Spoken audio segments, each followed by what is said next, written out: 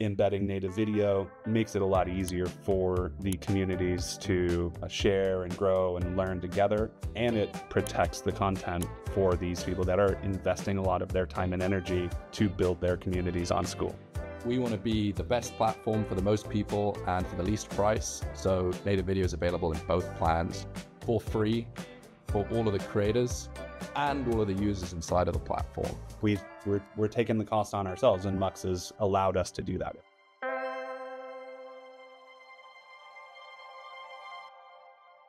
Hi, uh, I'm, I'm Matt McClure. I'm one of the co-founders of Mux. I'm thrilled to be here with Kirby and Andrew from one of our new favorite customers, Skool. Real quick, Andrew, you wanna you wanna show us your shirt? I'll show my shirt. video nerd, video nerds represent here.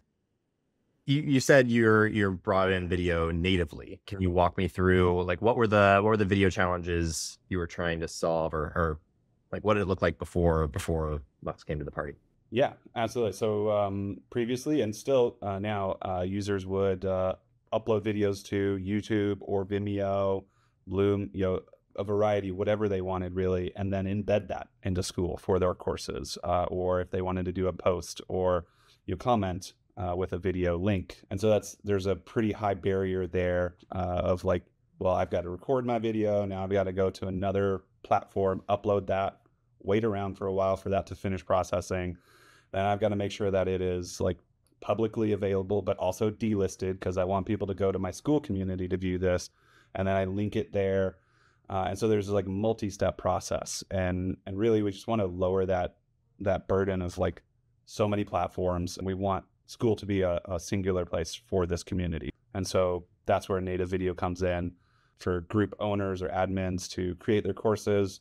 They can drag them right into Skool. and now you can only view them on Skool as opposed to a YouTube link that somebody could just you know network inspector or you know, copy the YouTube link and then share it anywhere else. There was a post that we made when it was announced, and the amount of fire emojis, the amount of people being thrilled was insane. You know, we've had in that post some some community leaders with really large communities who are like, "Wow, I'm going to save thousand dollars or fifteen hundred dollars a month on my video hosting." but by just moving over to Skool native video we've seen a lot of you know improved engagement in posts from the community members skate life uh, Mhm. professional skateboarder Mm-hmm. helping the community the skate community grow together you know and so he's like hey try a 180 variable heel flip i think that's right uh, and now rather than having to record yourself upload it uh, you know you just record it bam right in there and you can get feedback from the community from the leaders uh, just instantaneously why why choose Mux?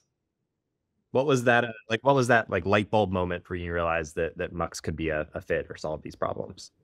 yeah Skool's a startup right the, so so you know we, we're not a we're not a multinational conglomerate. Uh, we have very small engineering teams with very full roadmaps. So uh, looking at everything we want to do and the scope of effort of building a you know ingest pipeline storage platform delivery all of that stuff is like we should consider other options. And i've been doing video for a long time. I've used mux data uh, for four or five years at previous uh, um, you know jobs and just really loved that platform familiar enough with the api uh, and so it wasn't really a light bulb moment of like maybe mux it was kind of mux was for us it was the starting point once we said hey we're not going to build this fully ourselves right now we we started with mux and we did our due diligence of uh, looking at other platforms we looked at the the technical performance the feature set the, the finances and Mux was just number one in all of them. And so it was a really easy decision to make. Let's go with Mux. And you know, we were able to build with that leverage of the excellent APIs and the features that we need. I think it was from saying, yeah, we're going to do it with Mux. It was about five weeks to going live. And the confidence that we had in the product, we didn't even do a slow rollout. We said uh, on our on our weekly broadcast, hey, native live is here, and we flipped the switch and 100% deployment. so uh, and it worked. We really really uh, um, low amount of issues and a lot of happy users. That's music to my ears. any any specific uh, Mux features or capabilities that stood out? Like, or, you know, I always love hearing about like interesting use cases of thumbnails and workflows or whatever else. But any anything in there specifically that you were like, ah, man, cool. I'm we Uh, got yeah, I, I, so I'll, you know, a technical side for me uh, is the upload component, you know, the multi-part upload, UpChunk, I think you guys call it. Uh, so just being able to drag, like drop that component right in, and we don't have to deal with multiple signed URLs and stitching those things back together, all that, you know, just here's the thing and it works uh, and it's fast, right? Uh, so, so the technical side is that the the thing that like stands out for me though more than that is the people at Mux. Um, I've been doing video for a long time. I have a pretty high bar, uh, and I'm not shy about needing that bar to be met. And so uh, I've been a little bit noisy about some of the things as we you know come up on hurdles. Some of them us, but you know, video's hard, so there are going to be issues, and our users are doing their own thing. So every step of the way, regardless of how annoying I might be, everybody at Mux has just been a pleasure to work with, and so that's the real thing. It's it's you've kind of solved the video is hard problem, and now it's like the but the people are great. It's also good to hear the the shout out to Upchunk. I actually I wrote that uh, years ago initially. Uh, what would be? I mean, outside of just like, you know, your your startup, so not having to build out like a big video infrastructure team is probably I assume that's a big win. But like, Yeah. I don't know what would be what would be impossible or a lot more difficult uh, if if Mux wasn't in the picture. I mean, literally everything. Like, um, we we went from concept to full production, 100% deployment in about five weeks. Like, we're just not going to be able to do that.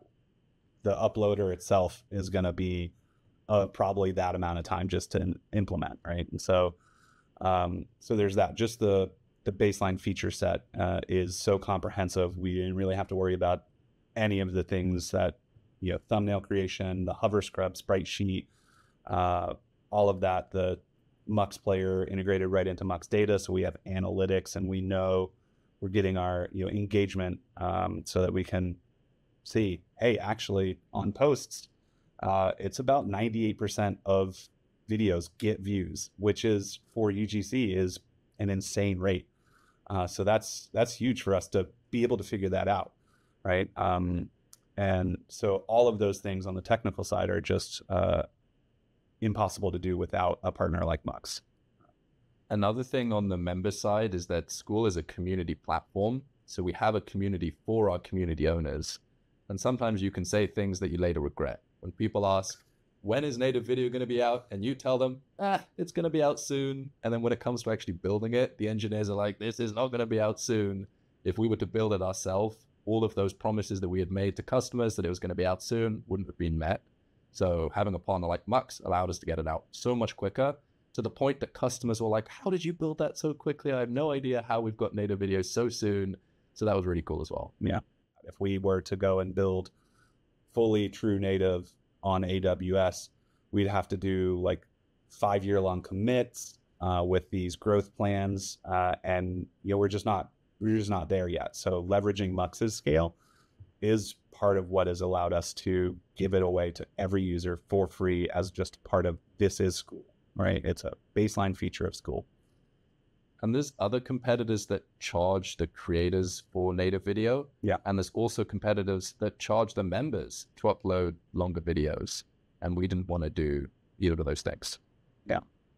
The 98% of people, the 98% of video upload being viewed at all is kind of a crazy stat.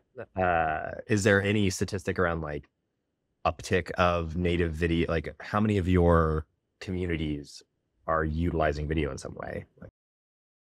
Uh, thousands, thousands of communities uh, are engaging with this. It is it has very quickly become the predominant usage of video. You know, folks are still using YouTube or Vimeo or you know the others um, because that's part of their flow, and we've seen a a very quick uptick in usage. Really, it's an exciting new addition in the platform.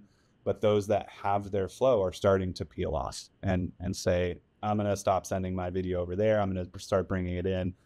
Uh, and so a large initial influx and then just steady growth uh, for for groups and members and as each group kind of starts getting used to it and understanding how it works we're seeing them start to encourage their community, say like, "Hey, don't do the old flow. Like drag and drop your stuff right in. It's way better." And so we're seeing those community leads telling their community members, "Use the Skool video. It's really good." Right? It was uh it was particularly fun the first like 2 days of turning this live for everybody was uh our the videos were coming in like 5 to 15 seconds long. And I was like that is not what I expected Oh, but then then it equalized, and you know, started moving courses and posts and stuff over to native, and we saw those go up. And what we realized is that was just everybody being excited, taking a quick video, being like, "Oh my god, it's here!" and uploading it. And so they were just, it was a lot of real quick phone videos. Oh my, is it? Does it work? And then they'd be excited, and then over the next several days, they start moving their content in. That's awesome. Any, uh, I mean, I know it's it's fresh, but any any initial signs around like impact? Like, are you seeing more folks, you know, for the communities that have started using this and utilizing it more? Are you seeing like more engagement there? Like, can you point to any positive signs for the business after Yeah, adding it? it's yeah, it's kind of tough because we we also launched the nine dollar hobby plan Yep. the next week, and so that that little bit of lag of like it took a couple of days for folks to to get used to it and start using it, and then we introduced hobby plan, and so yeah, our graphs are going way up as they go to the right. Let's just say it was Mux. It's both of them. It's Definitely both. video. It's, Definitely it's video. Mux on the nine dollar hobby plan. I think is the Yes. the killer combo, Yeah. right? Yeah. Um, And even not from a statistics point of view, I know lots of creators personally that have moved across because of native video. I have one friend who has a community of guitar players. He helps people get better at guitar. And he was just like, for years, probably four or five years, he was like, I can't move across, I can't move across because everyone uploads videos and I review them. Getting them to use YouTube or Vimeo or Wistia or Loom, it's too complicated. And as soon as we released it, he moved across. Yeah. So that's just one guy, but I'm sure if there's one guy, there's lots of other people.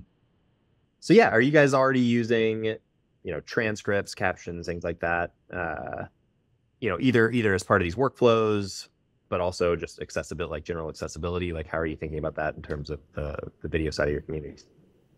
Yeah, uh, definitely. We we are using it on every video right now, and that's something that we're looking at. Maybe giving the community members an option to turn that off, uh, or select the languages. Again, we we kind of built the the minimum viable product that actually just hit all of the the core features that we needed.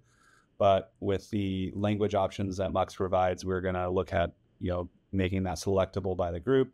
We want to add in the functionality to do multiple language transcriptions you know if there's multiple audio tracks or if there's you know if kirby were speaking french and i'm english you know we go back and forth. We want to have both options but we're definitely using those and and the community at large is really appreciative uh, because now you can you can watch your Skool courses. You can watch the content on the bus right? Or on the train and read along you know if it's too noisy or you don't have headphones uh, it just provides you an, another layer, another option. If you were if you were recommending Mux to another a dev, another dev thinking about building something like facing similar video challenges, whatever else, uh, what would what would you tell them? Don't do it yourself from the start. Uh, you know, hosting video at scale, at broad scale, is is a lot more than just wrapping FFmpeg. I mentioned the the uploader itself. That's a fair amount of work, and for that to be proven and reliable and and battle tested for years, right, is something that you you don't just get when you whip out some code and and deploy it. We are we are growing. Uh, we have a lot of video coming in. We're getting a lot of views, and the views are continuing to grow. And if we were just doing it ourselves, we'd be paying retail rates for CDN, right? Because we don't want to make that five year commit because we don't we don't know. We're still learning as we grow. And Mux has done all of that work, right? Uh, multi platform, multi CDN delivery at the lowest CDN rates. Uh, I think you guys also have your own CDN to some extent. And so that's all stuff that you don't want to do with a small team because you'll just be underwater instantly. So um, at the very least, start with Mux, use Mux data, figure out how your product is being used, and then if you're really insistent, then you can start to peel away certain parts, eh, you know, as you grow, or you know, if you want to go build your own CDN, go for it. Uh, I recommend against that. Uh, but yeah, start at, uh, start with Mux, uh, and then um, see what you can do after that. I think the the core thing, the theme for Skool is community. I think the Mux, you know, is a big part of the video engineering community, and so it just felt really natural to to blend the you know to become partners.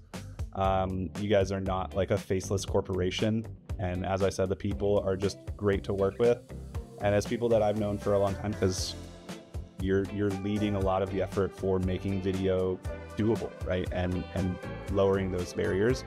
And so yeah, the Skool community aspect, the Mux community, Demuxed, all of the other things um, was a just added to that natural fit.